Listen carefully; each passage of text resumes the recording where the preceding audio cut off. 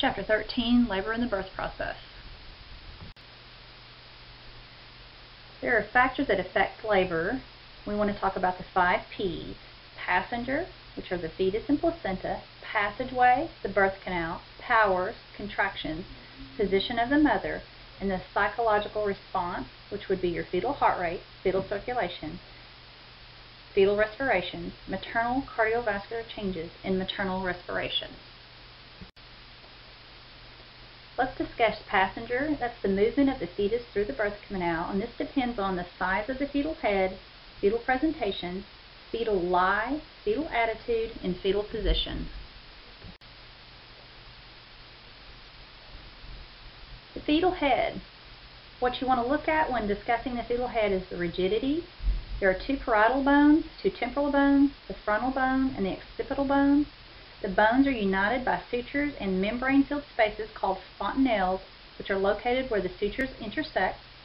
Palpation of the fontanelles and sutures during a vaginal exam reveals fetal presentation, position, and attitude. Sutures and fontanelles make the skull flexible. This information is in your textbook, page 342. This is a picture depicting the fetal skull. Presentation. This is part of the fetus that enters the pelvic inlet first and leads through the birth canal during labor at term. Three pr main presentations are cephalic, breech, which are your buttocks, feet, or both, and shoulder presentation. The presenting part is the part of the fetus closest to the internal os of the cervix. You can read about this in your text, page 343. This um, diagram depicts vertex presentation, sinciput presentation, and a brow presentation. This picture depicts different fetal presentations, ROP, LOP, ROT, ROA, LOA, and LOT. They're different occipital positions that the baby may be presenting in. You can read more about this in your textbooks, page 343.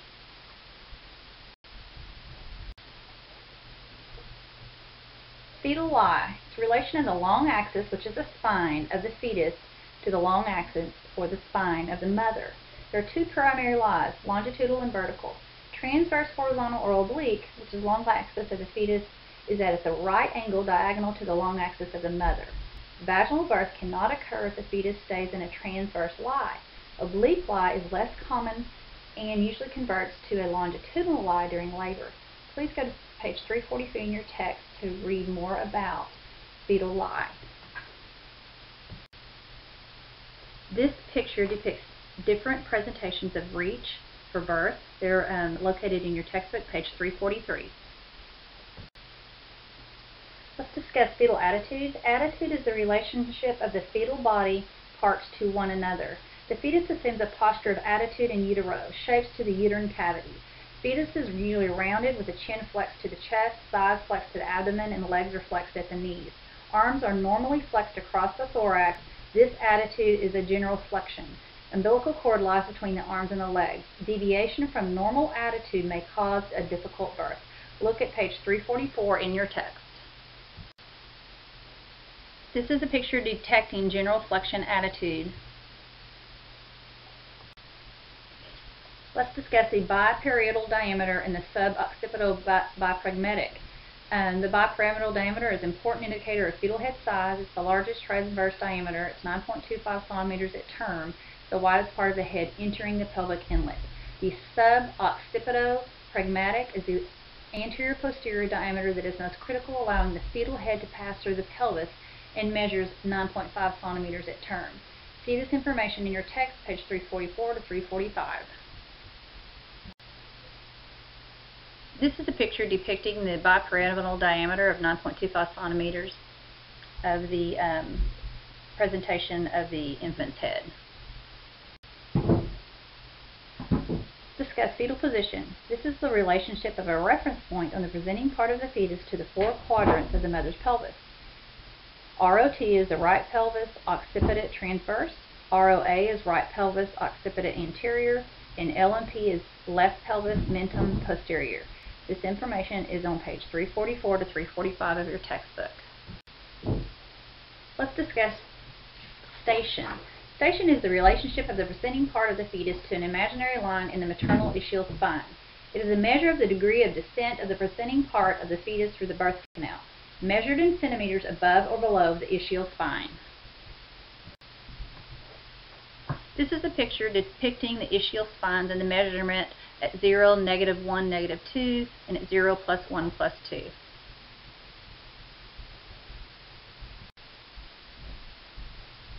This is another picture um, depicting the fetal head in relation to the mother's pelvis. Um, engagement indicates the largest transverse diameter of the presenting part, usually the biparietal diameter. Passageway is composed of the mother's rigid, bony pelvis, soft tissue, cervix, pelvic floor, and the vagina. The mother's pelvis plays a large role in the labor process. The fetus must successfully pass through the rigid pelvis during the birth process.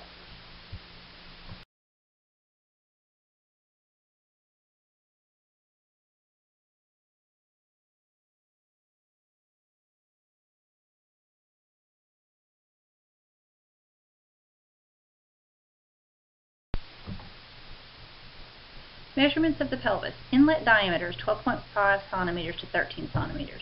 Outlet transverse is greater or equal to 8 centimeters, and the midplane transverse diameter is 10.5 centimeters.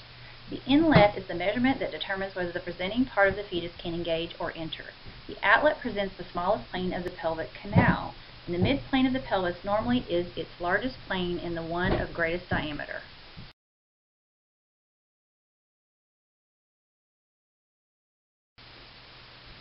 We need to discuss powers.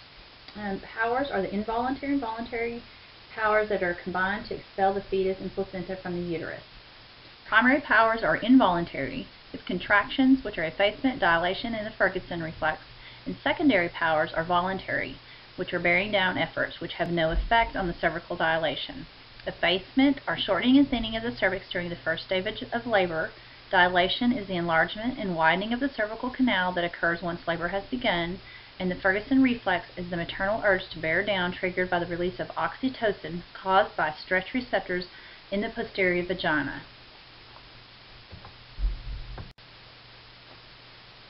Contractions. You want to discuss frequency, which is the time from the beginning of one contraction to the beginning of the next. Duration is the length of a contraction, and intensity is the strength of a contraction at its peak. This is on page 347 in your textbook still discussing primary powers, effacement, shortening and thinning of the cervix during the first stage of labor, and dilation, enlargement or widening of the cervical opening in, in the cervical canal that occurs once labor has begun. Dilation occurs as a result of the contractions.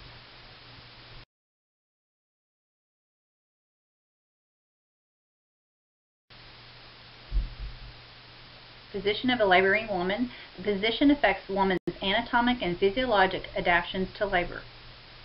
Frequent changes in position are important. They relieve fatigue, increase comfort, and improve circulation. The laboring woman should be encouraged to find positions most comfortable to her. This is on page 350 in your textbook. Process of labor. Labor is the process of moving the fetus, placenta, and membranes out of the uterus and through the birth canal.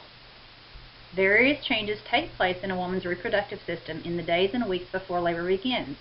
Labor can be discussed in terms of mechanisms involved in the process and stages the woman moves through. Process of labor continued. Signs preceding labor. Lightening or dropping, bloody show, Braxton Hicks, or surge of energy. And then you have the onset of labor. So lightening or dropping is the fetal head descending into the pelvis two weeks prior or before term in the first time pregnancies. Bloody show is a brownish blood tinged mucus that is passed. Braxton Hicks contractions are strong, frequent, and irregular. Surge of energy, oftentimes this happens just before labor um, begins. And uh, the onset of labor, onset of true labor cannot be ascribed to a single cause. Many factors involved, including changes in maternal uterus, cervix, and hormonal changes that occur. Process of labor, you have your stages of labor. Your first stage is onset of contractions to full dilation of the cervix. There's three phases. Um, you have your latent effacement cervix, active and transition, more dilation of the cervix and descent of the presenting part. Second stage, full dilation to birth, two phases, latent, fetus descending passively and fetus rotates to anterior position due to uterine contractions, and you have active, strong urges to push. Third stage, birth of the fetus until delivery of the placenta. And fourth stage, it's about two hours post-delivery of the placenta, assessed for complications of the mother. This is just a picture depicting the stages of labor. Mechanisms of labor. Seven cardinal movements of mechanisms of labor that occur in the vertex presentation. Their engagement, descent, flexion, internal rotation, extension, restitution and external rotation, and expulsion, which is the birth. These are the cardinal movements of the mechanisms of labor. A is engagement and descent. B is flexion, C is internal rotation to occiput anterior position, D is extension, E is external rotation beginning, F is external rotation.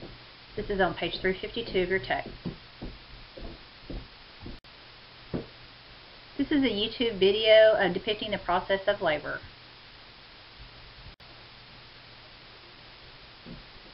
Fetal adaptation. These changes occur if fetal heart rate early in gestation as high as 160 beats a minute.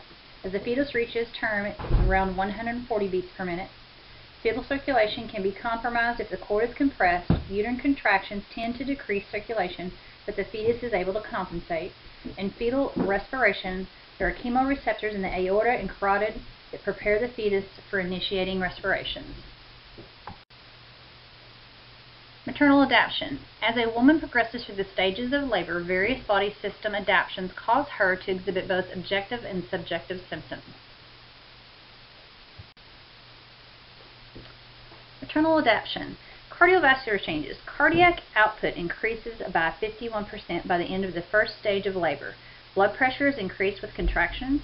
Respiratory changes. Increased respiratory rate. Second stage of labor, oxygen consumption can double. Renal changes, proteinuria 1 plus can happen in response to the breakdown of muscle tissue from laboring.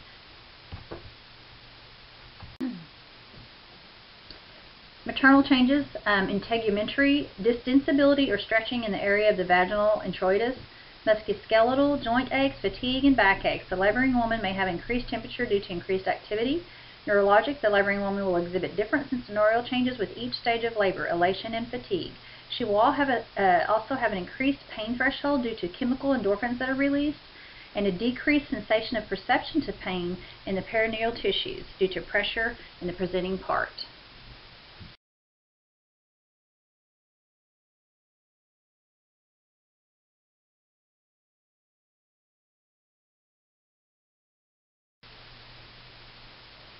Thank you, and this is the end of Chapter 13.